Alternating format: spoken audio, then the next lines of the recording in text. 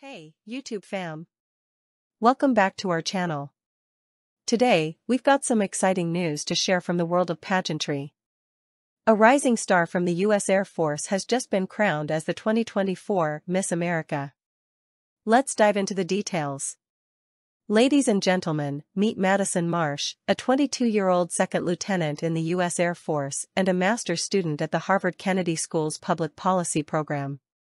Madison, representing the beautiful state of Colorado, made history by becoming the first active-duty Air Force officer ever to receive the prestigious national title of Miss America.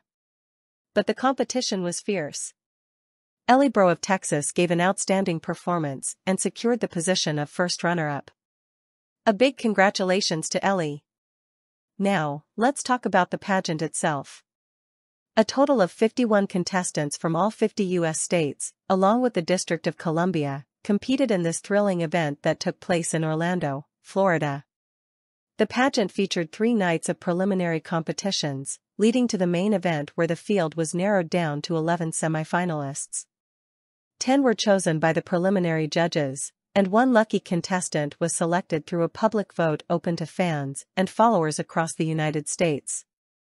These 11 talented women then faced four rounds of intense competition a fitness showcase, a hot topics discussion round, a talent performance, and an evening gown presentation. The top five finalists were finally revealed, with Madison Marsh and Ellie Breaux leading the pack. In the Hot Topics discussion, Madison shared a personal story about her late mother's battle with pancreatic cancer when addressing the topic of drugs in America. In the talent round, she wowed the audience with a spoken word piece centered on her achievement of getting a pilot's license at just 16. After an additional question about their goals as Miss America, Madison Marsh secured the crown. She highlighted her military credentials as a symbol of her commitment to learning and leading with passion. And there you have it, folks.